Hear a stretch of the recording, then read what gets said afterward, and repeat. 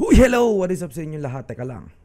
Yun, what's up sa inyo lahat? Guys, welcome back sa akin channel. Welcome back sa isa na namang video. Today is Sunday. Kaya naman, isa na namang reaction video or tatambay lang tayo dito, chill lang tayo dito. Tapos manonood tayo ng videos na makikita natin dito. Random videos na makikita natin dito sa YouTube. Okay? Or kung saan man. Pero, as usual, ang papanoorin natin is video ni AC. Okay?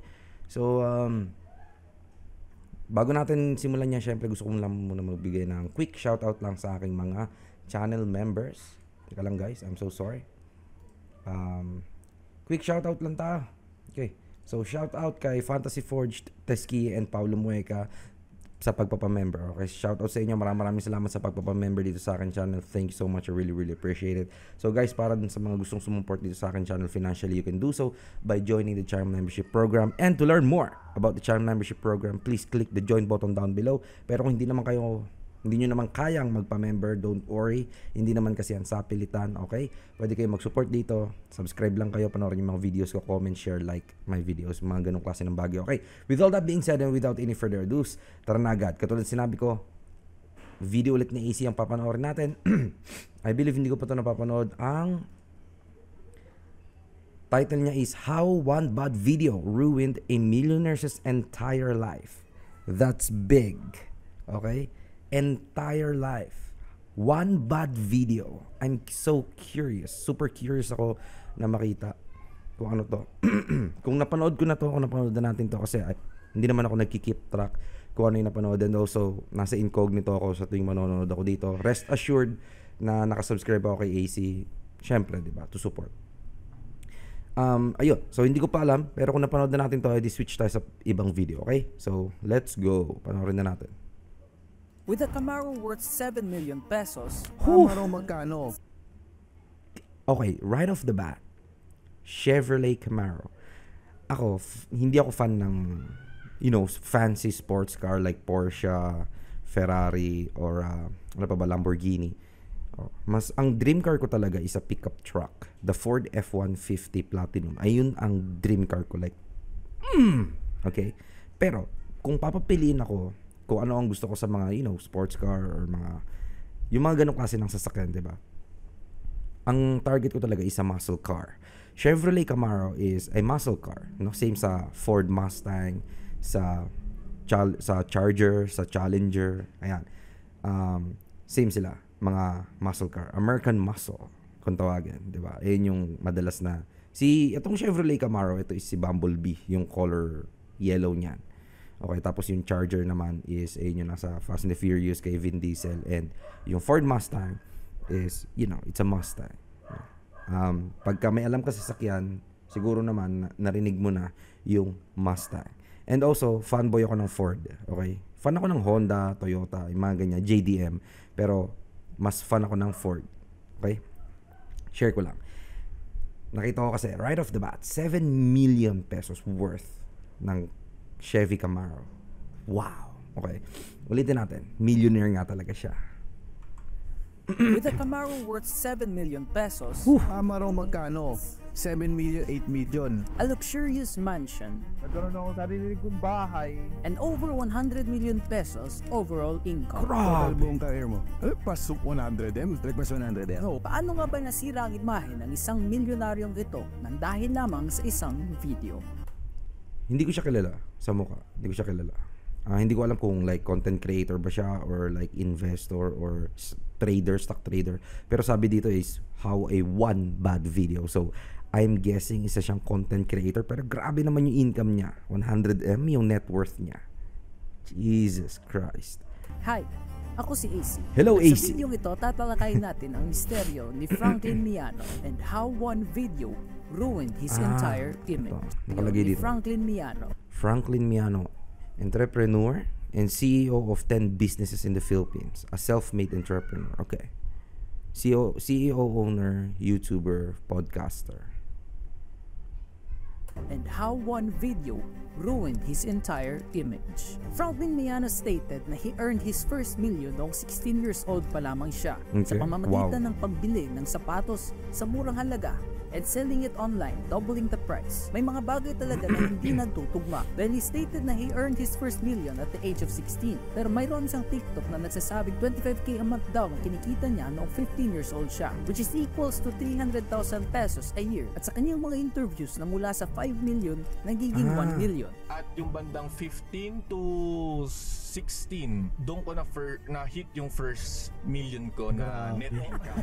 So, bali, hindi, sa sobrang, ito yung dilema ng mga sinungaling. Sa sobrang pagsisinungaling mo, hindi mo na makip track kung ano yung sinasabi mo dahil hindi naman totoo eh. No? Pagka ikaw ay nagsisinungaling, hindi mo maaalala kung ano yung sinabi mo nung nakaraan kasi hindi naman siya based sa totoong pangyayari. Based lang siya sa inyong imagination kaya ka nga nagsisinungaling, di ba? Or I mean, yun nga yung ano nung pagsisinungaling. 'Di ba? Hindi siya totoo. So inimagine mo lang siya. It's a made up story or whatever, 'di ba? Basically, point is, hindi siya totoo. So, pag hindi mo naalala ang sinabi mo dun sa isa, tapos kumbaga parang inassume mo na lang na ay ganito ganito siguro sinabi ko dun sa isa. Eh maraming nakakita or nakakatanda na sinabi mo dun. 'Di ba? Tapos hindi siya nagtugma sa bago mong sinabi. Ah, yari ka. Kasi pagka nagsisinungaling ka, especially kung hindi ka naman magaling magsinungaling, hindi mo makikip track or hindi mo maaalala yung mga previous na sinabi mo. Kaya much better kung wag ka na lang magsinungaling. 'Di ba? Milyonaryo na siya, but ano pang purpose ng pagsisinungaling? Nagfe-flex siya na 16 years old pa lang eh, na-hit niya na yung first million niya. Yeah, nakakawawa nga naman. Kung totoo yun.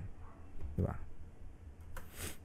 Alam mo, eto, na-research namin na 15 Grabe. years old ka pa lang, nakabuo ka na ng 5 million pesos. Yes, opo. At Mula Oh! sa pagbebenta ng sapatos, nagiging pagbebenta ng damit. Nagko-commute na kasi ako ng pauwi. So nakita ko sa may sakay na tricycle sa gilid is meron nagbebenta ng magagandang mga damit. So okay, Nagko-commute po ako pa uwi po sa bahay.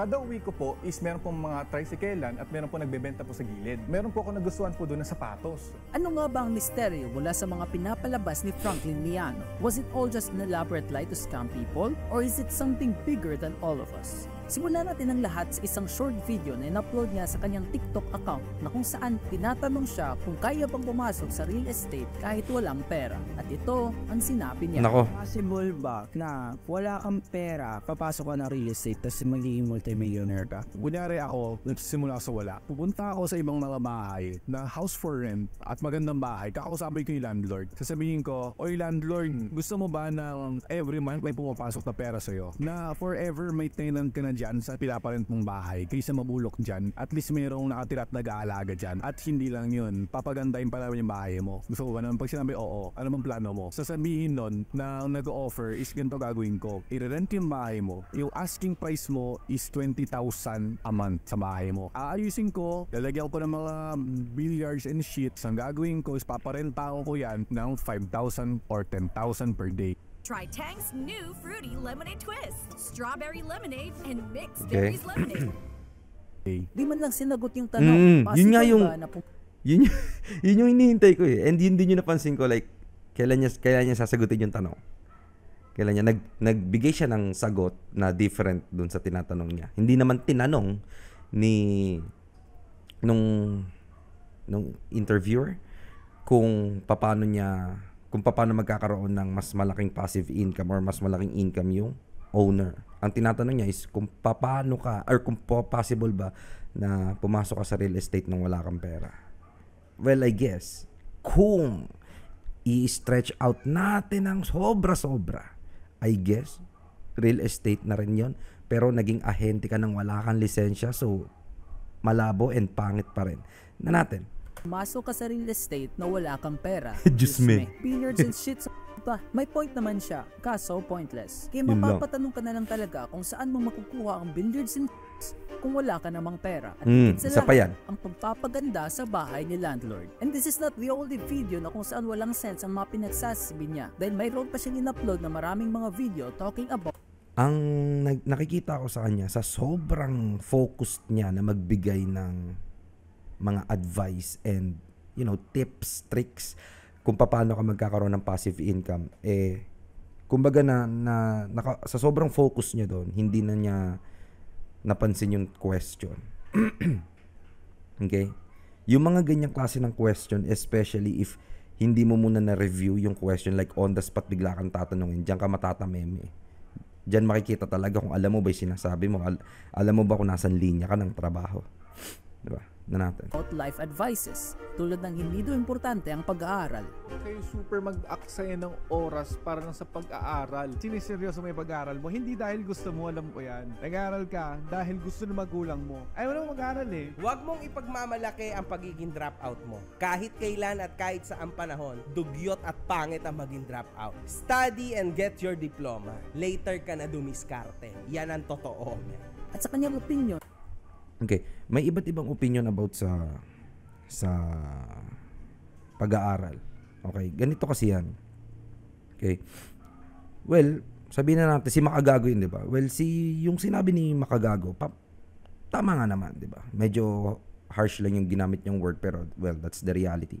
Pangit nga naman pag hindi ka graduate. Ako hindi ako graduate. Hindi ko pinagmamalaki yan. Pero applicable yung sasabihin na huwag kang mag-aral if meron kang mga resources na kumbaga resources at your disposal.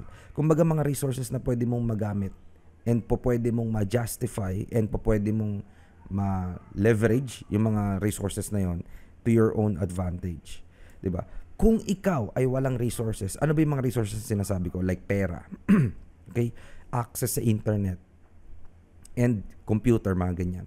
Kung wala ka ng mga ganyang klase ng resources, kailangan mong graduate, kailangan mong mag-aral dahil ayun ang magiging resources mo para, you know, magkaroon ng pera, ng income.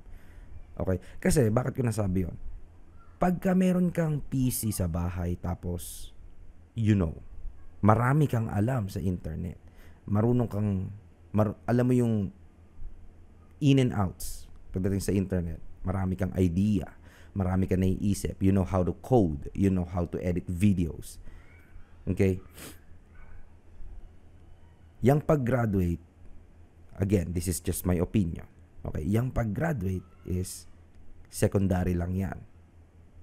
Kung ikaw ay maraming alam and kung magagamit mo yung mga resources na yan sa advantage mo. Okay? Hindi ko naman sinasabi na hindi hindi ka na dapat graduate. Okay? Graduate ka pa rin, sure, kung gusto mo. Pero, okay lang na hindi ka graduate kung kakayanin mo yung hirap ng pag-grind online. Dahil, pagka hindi ka graduate, doble yung hirap niyan. Di ba? Doble yung hirap niyan. Unlike pag-graduate ka kasi, pagka nag-apply ka, mataas ang chance na makakuha ka ng trabaho. At least yung trabaho is, di ba? Trabaho na yun eh pagka online kasi maghahanap ka ng I don't know, client kung mag freelance ka. Tapos kung marunong ka naman mag-code, again, maghahanap ka ng client unless kaya mong gumawa ng SaaS or yung software as a service tapos ibebenta mo yung website, gano'n. Maghahanap ka pa rin ng buyer. Maghahanap ka pa rin ng client. Ganun pa rin. ba?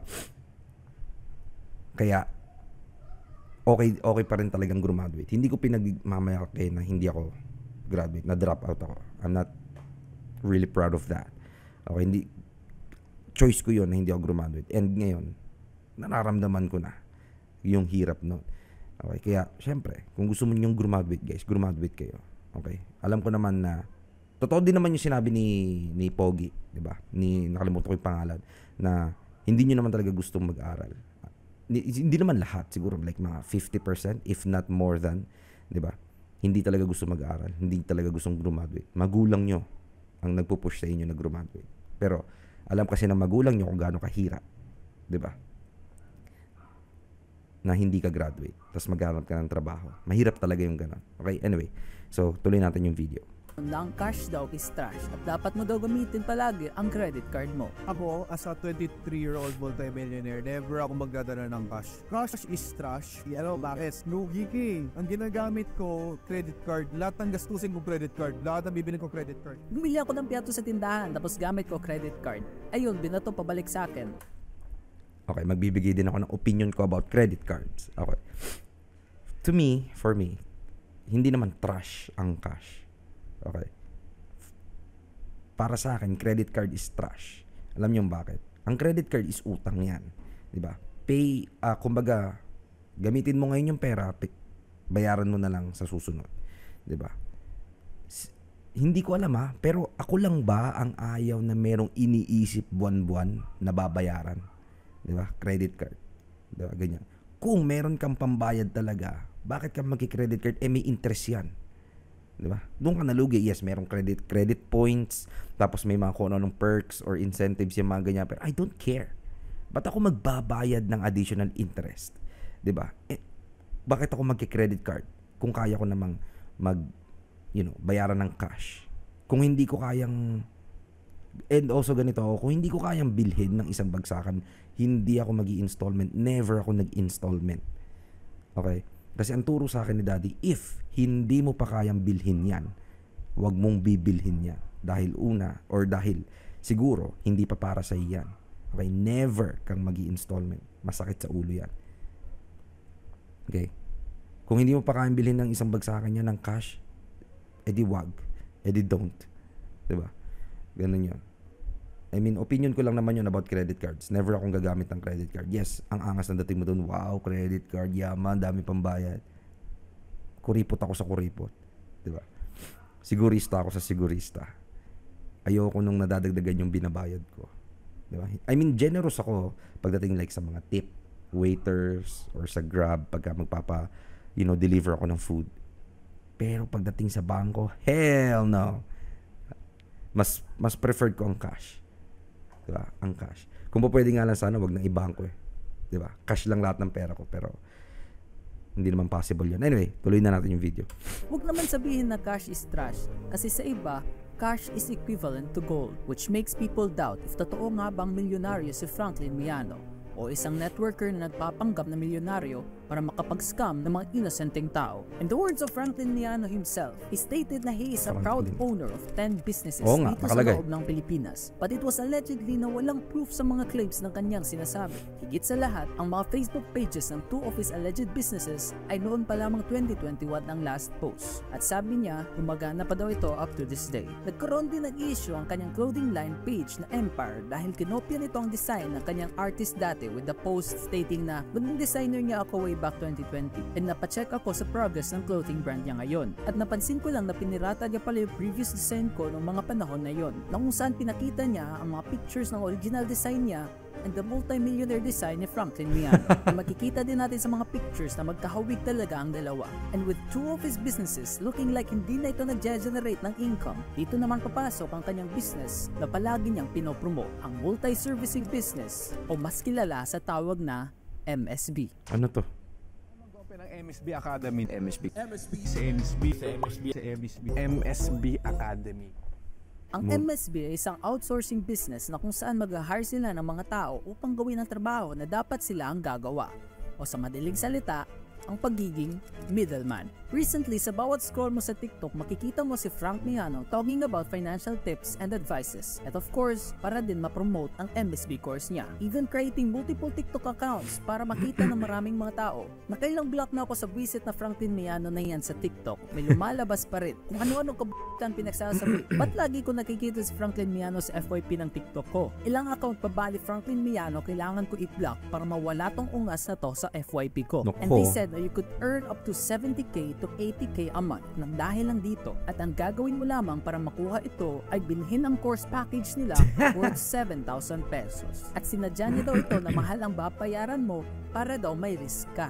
Coach Frank, bakit pa kailangan magbayad at mag-enroll sa MSP? Eh kung gusto niyo naman po makatulong, pwede niyo naman po i-post ang content for free. Kaya to may bayad kasi gusto ko seryosoin nila. Everything has a risk eh. Kaya siya may bayad para mahirap na din naranasan mo sa buhay mo. Siguro pinakamahirap and memorable yung ay na naglalako na talaga ako. Like pinaglalako na ako ng mother ko, ganyan. And this student was also called out ng isa sa kanyang page admins dahil nahihirapan daw ito magbigay ng sahod sa kanya. Hello, isa ako si employee ni Carl. Let me know if you want to know anything. Ang hirap magpasweldo niyan eh. Kailangan pa palagi i-remind. Here's a proof na nagwo-work ako for him. Most of Franklin Miano's TikTok videos ay pagmamayabang lamang ng kanyang mga ginagastos na kung saan hindi niya din alam kung saan napunta ang mga ito. Di ba millionaire ka na? So magkano ginagastos mo every single month?